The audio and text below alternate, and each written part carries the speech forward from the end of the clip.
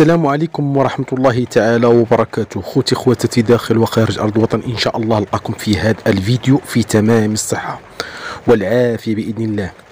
بداية أشكركم على التفاعل ديالكم في القناة أحداث بلا حدود وكنتمنى من الله عز وجل أنكم تدعمونا باللايك والاشتراك في القناة باش دائما توصلوا بما هو جديد. إخواني أخواتي بالرجوع إلى مزرعة حي الرحمة. سلا وارتباطا بالخبر علمت أخبار من مصادر مطلعة أنه تم القبض على العصابة واللي حيرت المحققين مدة سنتين واللي كانوا كيستهدفوا هواة الرياضة في الغابة والشواطئ بالمدينة. فعلمت الأخبار من مصادر مطلعة على أن عناصر الشرطة القضائية التابعة لأمن سلا الجديدة. أن أحالت اليوم متهمين وأربعة متهمين آخرين على النيابة العامة المختصة بمحكمة الاستئناف بمدينة الرباط واللي كيشكلوا بطبيعة الحال واحد العصابة خطيرة واللي وص... واللي وصفوها بالأخطر العصابات اللي دازوا بمدينة سلا. واللي حيرت الأجهزة الأمنية بالمنطقة حيث نفذت العشرات من الاعتداءات على المواطنين الأبرياء دون أن تنجح عناصر الشرطة في الإيقاف ديال هاد الأفراد. وهنا قرر وكيل العام للملك أول أمس الإحالة ديالهم في حالة اعتقال على قاضي التحقيق. لدى المحكمة نفسها من أجل المتابعة ديالهم يعني بتهم تكوين هذه العصابة الإجرامية والسرقة الموصوفة يعني آه، بواسطة أسلحة زيادة على الضرب والجرح المفضي إلى عاهة مستديمة واستهلاك المخدرات والأقراص وتهديد سلامة الأشخاص والأملاك. كذلك ذكرت المصادر الأخبار أن قاضي التحقيق قرر إيداع هاد المتهمين الأربعة إلى المركب السجني بالعرجات في انتظار استنطاقهم مرة أخرى حول هاد التهم المنسوبة إليهم والمواجهة ديالهم مع العديد من الضحايا اللي نفذوا ضدهم مجموعة من الاعتداءات العديدة وهذا بعد ترصد المتهم المتهمين وتربصهم في الغابات والفضاءات والشواطئ. من بعد ما تم القبض على الرأس المدبر واللي هو خوتي إلا من عائلة ثرية جدا بمدينة سالا وهذا الشيء كيتبين لنا أن الإجرام وجريمة وهذه الأفعال اللي كيقوموا بها فهي ما مرتبطاش أخوتي بالفقر أو الغنى. فيقدر الواحد أنه مسك عليه الله وعايش حياة مزيانة ولكن اللي فيه اللي فيه يعني اللي فيهم يعني كيبقاو ديما يمشيو في هذه المجالات كيمشيو في هذا الانحراف والأسباب. هما ديك الأفلام اللي كتفرجوا فيها. أفلام اللي ربما ما كيستافدش من الشباب وإنما كتخرب لهم الحياة ديالهم وحتى التربية. التربية خوتي من الصغر فهي من الأهم أن الواحد أو العائلة يربي اولادهم يعني بدايه من بداية الطفولة حتى يكبروا. كذلك الدولة أنهم تسايرهم وتقوم يعني وضع مجموعة من المقررات يعني اللي غتحاول أنهم تعلمهم المواطنة. المواطنة هي السبب السبيل الوحيد من أجل تفادي هذا الإجرام. اللي ولينا كنسمعوا خوتي دائما. زيادة على الأشخاص فهم عديمو السوابق القضائية. هاد المتهمين هادو اللي كانوا كيخرجوا وكيعملوا الرياضة.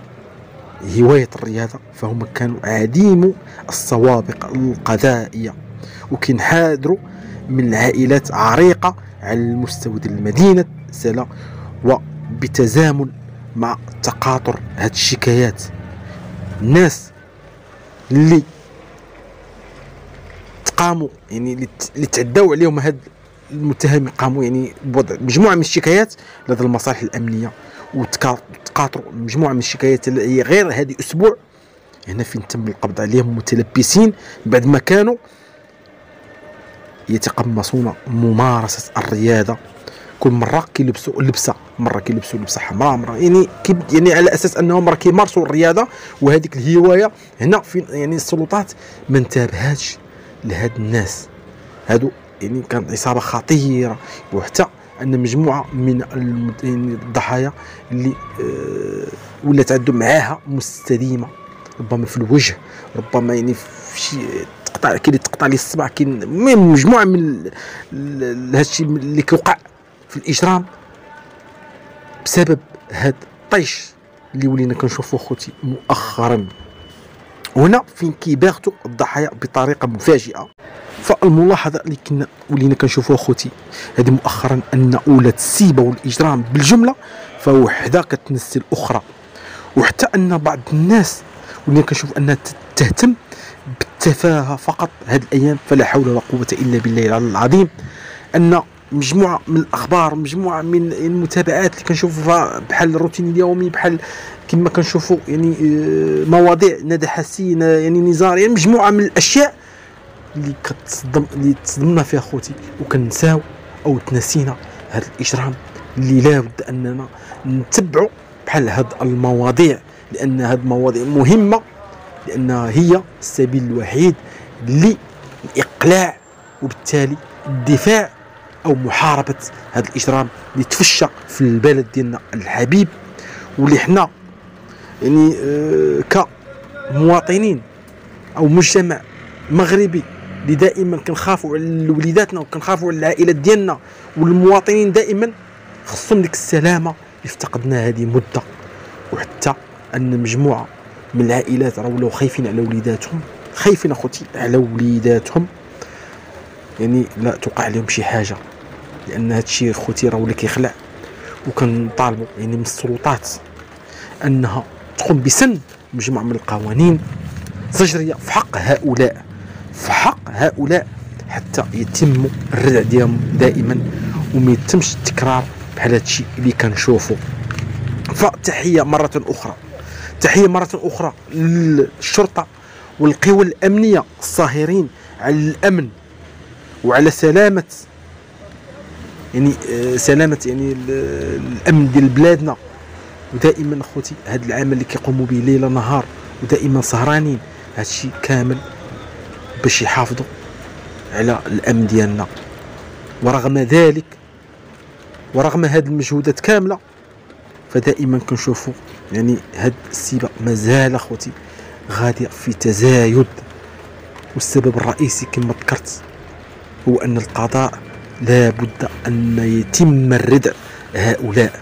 يتم الردع هؤلاء لأنهم ملي كيدخلوا السجن راه ماشي كي يعني كيكون تم الإصلاح وإنما كيتزاد أنهم كيتشجعوا بفضل واحد يعني الأشياء اللي كتوفر لهم داخل السجن هما اللي كيخليهم أنهم يعاودوا يديروا ديك الإجرام وكيقولوا أن السجن فهو ليس إلا أننا غنعيش مزيان أنني غن, غيحميني السجن غيحميني وغندوز ديك العقوبة وبالتالي غنخرج ونبقى ديما تكرار تكرار وهذا الشيء لا يوجد يا خوتي. فلا بد من وضع واحد القانون يعني آه زجري في حق هؤلاء باش ما يبقاوش يقوموا مرة أخرى بهذه الأفعال الإجرامية اللي دائما حنا كنحاولوا أننا ما نبقاوش عرضة لهذا الشيء كامل بسبب هاد الطيش وهاد المخدرات والأقراص المهلوسة اللي هي كذلك السبب